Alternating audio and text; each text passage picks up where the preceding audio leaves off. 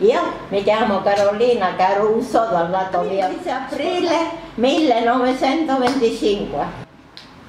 Mm, ma ne, non ho un ricordo particolare perché noi da Comoso siamo andati fuori perché c'erano i bombardamenti, i tedeschi ne, avevano occupato mezza casa che noi avevamo senza abitare.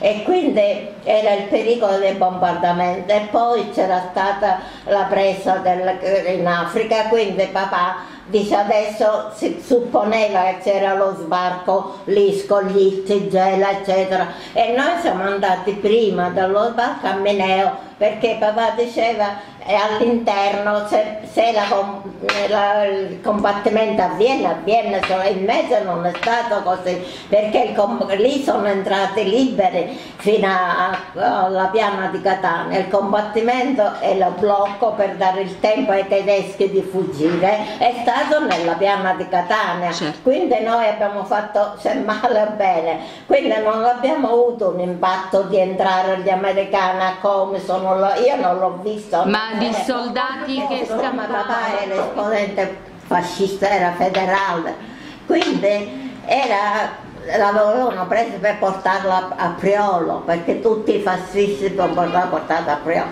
Però papà, siccome era stato un uomo di molta socialità, carità, amicizie a Comiso, c'è stato il farmacista eh, non mi dimentico che no, un amico di papà che era socialista, pur essendo socialista era amico di papà, che ha detto per il commendatore Caruso rispondo io.